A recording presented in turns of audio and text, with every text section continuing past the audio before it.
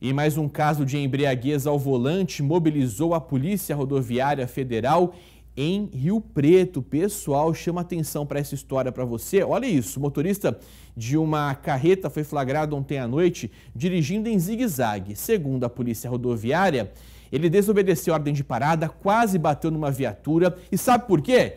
O Belezão estava totalmente alcoolizado, com a cara cheia. E o pior, ele estava bebendo uma caipirinha enquanto dirigia.